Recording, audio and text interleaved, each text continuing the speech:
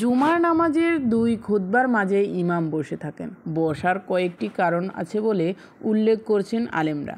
তা হলো মহানবী সাল্লাহ সাল্লাম জুমার নামাজের জন্য দুটি খোদবা দিতেন। তাই নবীজির সুন্নত আদায়ের জন্য দুটি খোদবা দিতে হয়। দুটি খুতবা দিলে নির্দিষ্ট বিষয়ের আলোচনা পরিপূর্ণ হয়। পাশাপাশি এতে খতিবের আরাম হয় এবং শ্রোতাদের স্বস্তি হয়। একদল আলেমের মতে জুমার দুটি খোদবায় দুই রাকাত নামাজের সস্তা বিষিক্ত প্রতিদিন চার রাকাত জোহরের পর নামাজ পড়তে হয়। এর বিপরীতে জুমার দিন দুই রাকাত ফরজ নামাজ পড়তে হয়। আর দুটি খুতবা বাকি, দুই রাকাতে কিছুটা হলেও শূন্যতা পূরণ করে।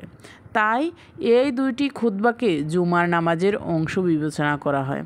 এবং কেউ বিশেষ কারণে জুমার নাম জামাতে শরিক হতে না পারলে তাকে জোহরের চার রাকাত ফরজ পড়তে হয়। এই দিক জুমা থেকে ও জোহরের মধ্যে সাদৃশ্য আছে।